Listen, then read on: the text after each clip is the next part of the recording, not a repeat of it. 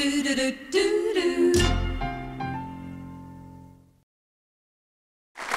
back on the Smith Family Show today. We've met already Elaine Smith and now good mate of mine, a good friend of yours, obviously, because I get more mail about this bloke than anybody else who's a regular on the show. The Reverend John Smith.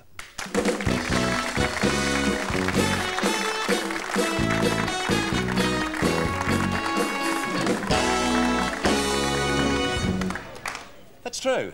Whenever you're on the show, uh, immediately we're fired up with phone calls and people writing, particularly, I notice from mothers, mothers of teenage children, because for those of you who are not aware of John Smith, he's a minister of religion, he's the, the chaplain of God Squad, does a lot of work in all areas, but particularly with, with young people.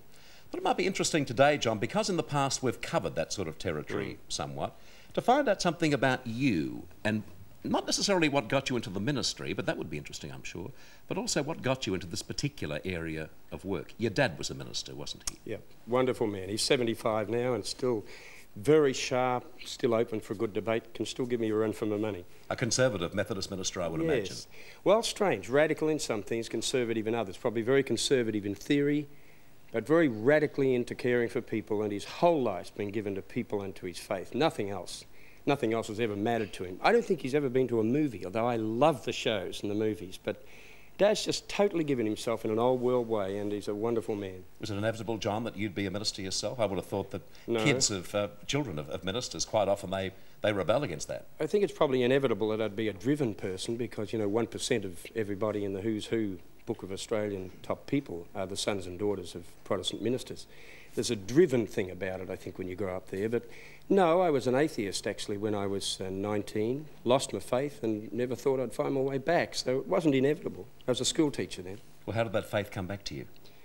Well, like everything else for me, I guess, in, with a lot of pain, struggle, and, and drama, I guess it, it was partly an intellectual thing that if there was no meaning behind the universe, my very lonely inner struggles as a kid didn't seem to be able to find any resolution. So I guess part of the reason I'm in youth work and will probably stay there all the days of my life is that I know what it is to be 16, slam the door, feel mum and dad and nobody loves me, despite the fact they're all doing their level best to communicate.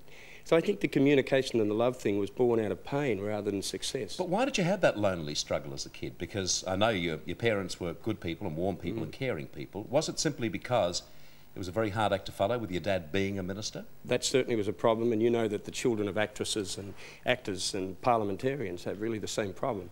Leaders' kids do have that struggle. I didn't feel Dad could understand how weak I felt and how frightened I was and how much the demand was to perform, even in the manse.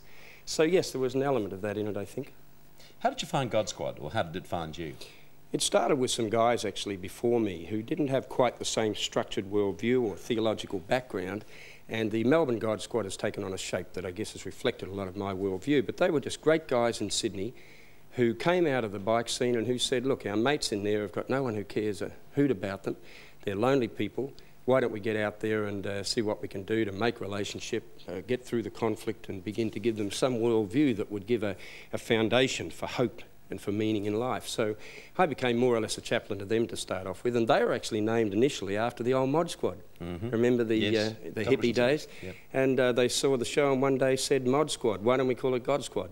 And then from that, it grew to a much broader uh, kind of work like we developed down here in Melbourne. They sort of gave us the clear to go ahead and make our own shape, and that's the shape that the media and the people in general have got to know.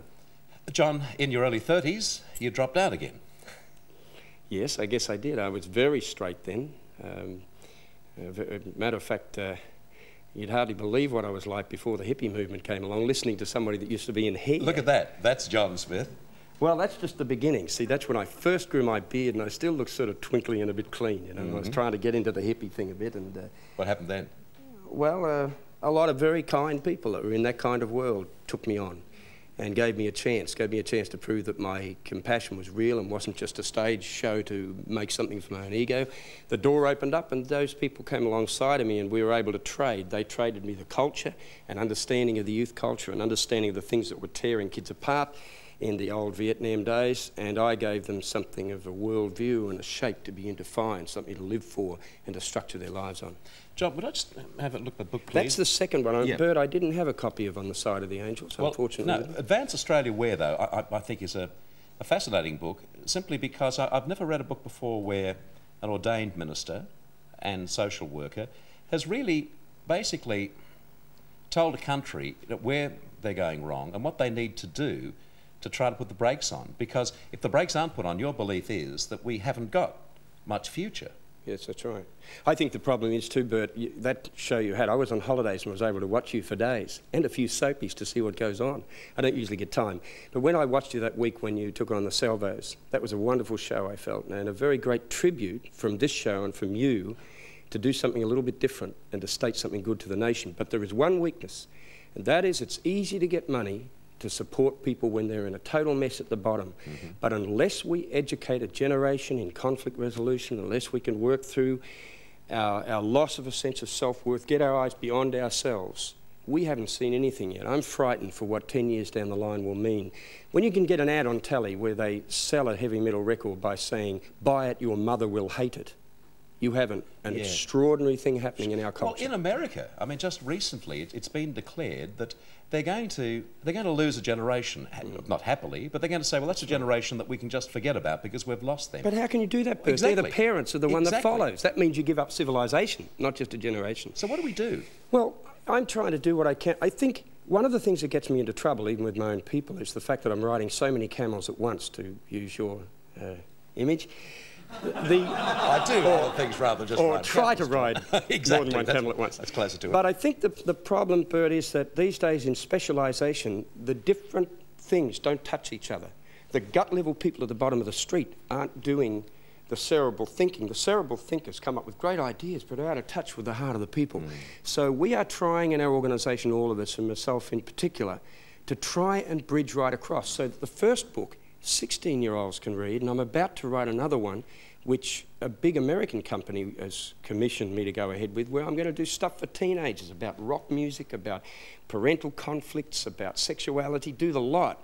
That'll be very easy to read. But that book could be read by a university student. In fact, uh, Professor Manning Clark has given an okay to it mm-hmm. as an almost agnostic. And that's an argument for a religious view of life. But in secular words, that's more intellectual because we try to go right across the board and bring together all those things. We used to call it layman's language. And that's yes. exactly what it's written in. Yeah. John, I'll prepare myself now over the weekend, well, not this weekend, obviously the weekend after next, to start uh, answering the mail that will come in. They can write to your care of me, and perhaps sure. you'd like to answer some of the And we've the followed some of those up and Certainly. had some very wonderful responses to it. Good luck to you, John. Bless you. The Reverend John Smith.